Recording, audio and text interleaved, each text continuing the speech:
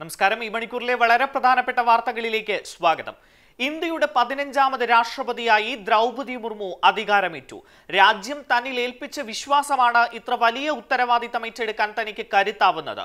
എല്ലാവർക്കും നന്ദിയുണ്ട് എന്ന് കന്നി പ്രസംഗത്തിൽ രാഷ്ട്രപതി ദ്രൗപതി മുർമു പറഞ്ഞു. രാജ്യത്തിന്റെ രണ്ടാമത്തെ വനിതാ രാഷ്ട്രപതിയാണ് ദ്രൗപതി മുർമു. ഏറ്റവും ഉയർന്ന ഭരണഘടനാ പദവി വഹിക്കുന്ന ആദ്യത്തെ ആദിവാസി വനിത കൂടിയാണ് മുർമു.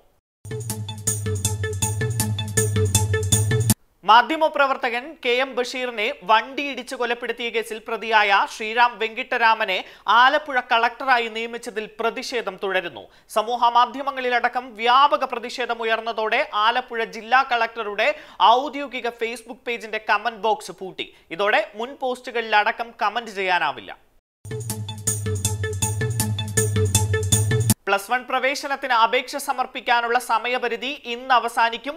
ഇന്ന് വൈകിട്ട് അഞ്ചു മണിവരെ വിദ്യാർത്ഥികൾക്ക് അപേക്ഷ നൽകാം. സി ബി എസ് ഇ പത്താം ക്ലാസ് ഫലം പ്രസിദ്ധീകരിച്ചതിന് പിന്നാലെ അപേക്ഷിക്കാൻ സമയം നീട്ടി നൽകിയിരുന്നു. സി ബി എസ് ഇ വിദ്യാർത്ഥികൾ നൽകിയ ഹർജിയിലെ ഹൈക്കോടതി ഉത്തരവിനെ തുടർന്നാണ് സമയം നീട്ടി നൽകിയത്. ആറ്റിങ്ങലിൽ പിങ്ക് പോലീസ് ഉദ്യോഗസ്ഥ പെൺകുട്ടിയെ അപമാനിച്ച സംഭവത്തിൽ സർക്കാർ ഹർജി ഇന്ന് ഹൈക്കോടതി പരിഗണിക്കും. കുട്ടിക്കുള്ള നഷ്ടപരിഹാരം സർക്കാർ നൽകണമെന്ന സിംഗിൾ ബെഞ്ച് ഉത്തരവിനെതിരെയാണ് ഹർജി. നഷ്ടപരിഹാരം സർക്കാരിന് നൽകാനാവില്ല എന്നും ഉദ്യോഗസ്ഥയിൽ നിന്ന് ഈടാക്കി നൽകുമെന്നുമുള്ള നിലപാട് സർക്കാർ ഡിവിഷൻ ബെഞ്ചിനെ അറിയിക്കും. നേരത്തെ നഷ്ടപരിഹാര തുക ഉദ്യോഗസ്ഥയായ രജിത നൽകണമെന്ന് ആഭ്യന്തര വകുപ്പ് ഉത്തരവിറക്കിയിരുന്നു. കൊല്ലം പത്തനാപുരത്ത് മോട്ടോർ വെഹിക്കിൾ ഇൻസ്പെക്ടർക്കെതിരെ പരാതിയുമായി പെൺകുട്ടി. ഡ്രൈവിംഗ് ടെസ്റ്റിനിടെ മോശമായി പെരുമാറിയെന്നാണ് പരാതി. സംഭവത്തിൽ ഗതാഗത കമ്മീഷണറിന്റെ അന്വേഷണ റിപ്പോർട്ടിന് പിന്നാലെ എം വി വിനോദ് കുമാറിനെ സസ്പെൻഡ് ചെയ്തു. മോട്ടോർ വെഹിക്കിൾ ഓഫീസേഴ്സ് അസോസിയേഷൻ സംഘടനാ നേതാവാണ് വിനോദ് കുമാർ. യു പിയിലെ പൂർവാഞ്ചൽ എക്സ്പ്രസ് വേയിൽ ബസ് അപകടത്തിൽ എട്ട് പേർ മരിച്ചു. നിരവധി പേർക്ക് പരിക്കേറ്റതായാണ് വിവരം.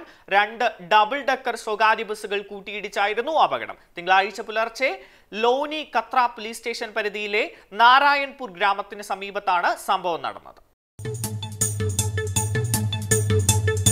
സംസ്ഥാനത്തെ ദേശീയ സംസ്ഥാന പാതകളുടെ ശോചനീയാവസ്ഥ സംബന്ധിച്ച ഹർജി ഹൈക്കോടതി ഇന്ന് വീണ്ടും പരിഗണിക്കും. ദേശീയപാത റോഡുകളും സംസ്ഥാന പാതകളും നന്നാക്കാത്ത ഉദ്യോഗസ്ഥ നിലപാടിനെതിരെ ഹൈക്കോടതി കഴിഞ്ഞ ദിവസം കടുത്ത വിമർശനം ഉന്നയിച്ചിരുന്നു.